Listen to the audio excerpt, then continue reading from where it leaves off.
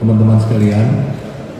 Yang kedua kita preskon terkait dengan pengungkapan perkara investasi bodong robot trading dengan skema piramid atau ponzi.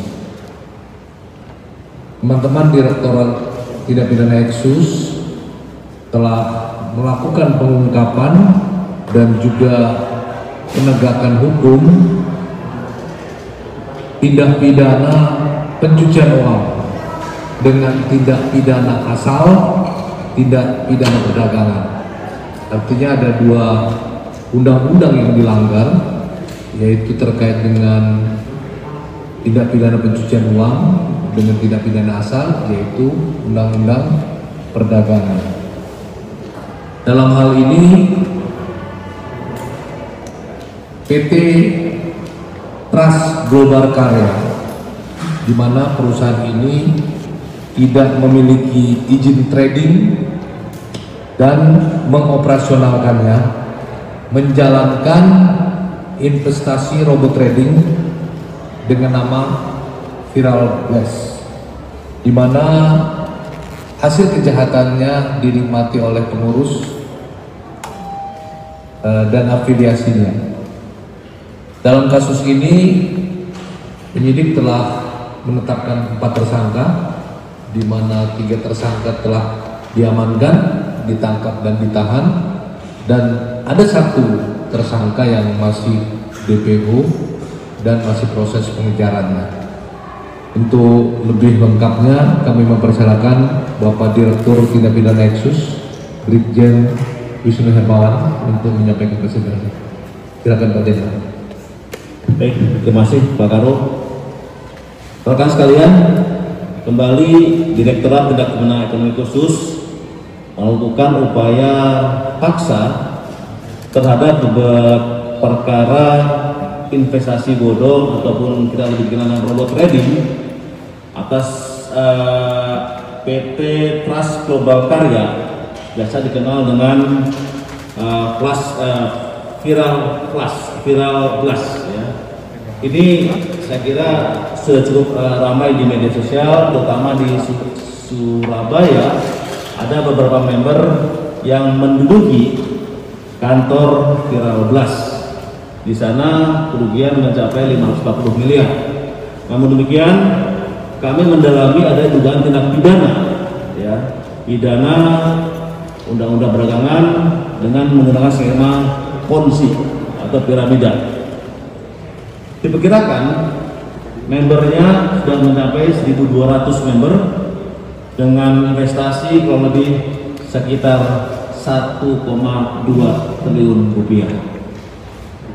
Kami dari Nexus terus terus mengungkap pelaku-pelaku investasi bodong baik dengan menggunakan metode robot trading, atau binary option ya kita terus mengungkap dan tentunya yang yang merugikan masyarakat harus kita tindak. Untuk perkaranya Villa Blas, saya persilahkan Kasubit TPPU untuk menjelaskan tentang uh, skema piramida piramidanya, bagaimana proses penangkapannya dan apa saja bukti-buktinya serta pasal dilanggar. Silakan untuk lebih jelasnya saya silakan untuk Pak Subdit uh, tiga menjelaskan perkara tersebut.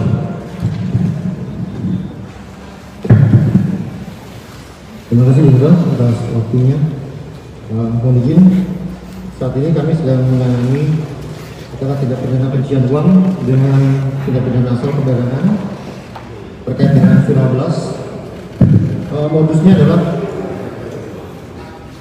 PT Trust Global Karya memasarkan produk e-book dengan nama uh, Viral Blast untuk uh, kepada para membernya untuk kemudian digunakan dapat digunakan melaksanakan trading. Namun dalam pelaksanaannya uh, uang yang disetorkan oleh para member ini disetorkan ke exchanger untuk kemudian dibagi atau didistribusikan kepada para pengurus dan leadernya keuntungan yang, yang dijanjikan dalam berupa keuntungan tetap setiap bulan dengan metode withdraw itu sejatinya adalah diambilkan dari uang yang disetorkan oleh para nasabah itu sendiri. Jadi uang yang dikumpulkan itu tidak dilaksanakan, tidak digunakan untuk melaksanakan trading sebagaimana seharusnya. Ini yang, yang kemudian kita tangani uh, modus tersebut dan saat ini kami sudah menangkap dan menahan tiga orang tersangka sama RPW, JAP dan MU, FU. Ini merupakan para pengurus di PT Trust uh, Global Karya. Uh, barang bukti yang sudah kami amankan adalah dokumen presentasi pada waktu mereka memasarkan produk ini pada para pelanggannya.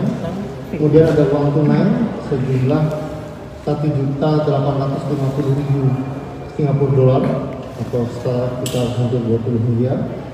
Kemudian uang tunai 12 juta, dokumen identitas para tersangka, ATM 12 buah, token bank 2 buah, handphone 8 buah, kemudian ada kendaraan, ada empat unit kendaraan yang sudah kita lakukan penyitaan uh, tiga ada di depan di, di depan. Itu dua unit uh, mobil BMW dan satu unit mobil Jaguar. Satu mobil masih dalam perjalanan dari Jawa Timur ke Jakarta. Pada saat ini kita sudah melaksanakan pemeriksaan saksi-saksi dan juga melakukan pemblokiran terhadap rekening beberapa rekening ada kurang lebih 60 rekening di berbagai bank yang tergabung yang terkait dengan bisnis proses ini. Kemudian eh, kita akan terus menindaklanjuti eh, proses penyidikan ini dengan melakukan pengejaran dan penangkapan terhadap satu orang tersangka yang tadi masih tadi sudah sampaikan di dalam pencarian dan melanjutkan proses pemeriksaan saksi-saksi serta penelusuran aset yang patut diduga berasal dari tindak pidana uh, yang dipersangkakan dalam perkara ini. Mungkin ini yang bisa kami sampaikan dulu.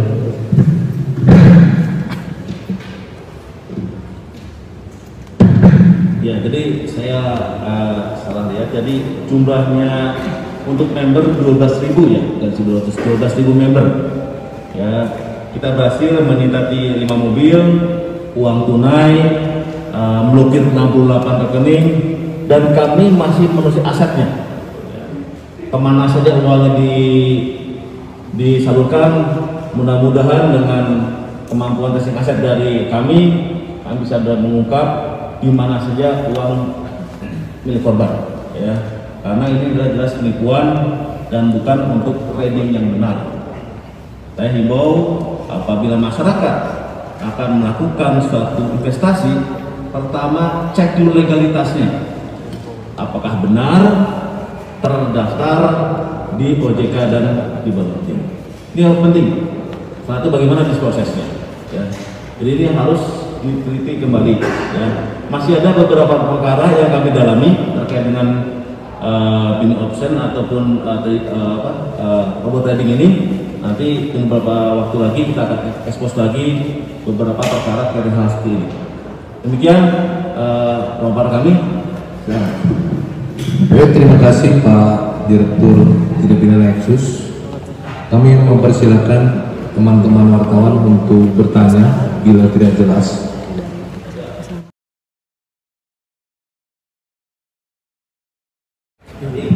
Saya sampaikan ini PT Kira Blas Global ini berdiri sejak tahun 2000 eh 2020 ya kemarin sudah banyak 12 ribu member nah sekarang pertanyaan kok banyak masyarakat yang terkena terhadap mereka sendiri ya kan gitu ya pertanyaannya ya ini mungkin salah satunya kita melihat adanya pandemi sehingga banyak masyarakat yang berada di rumah.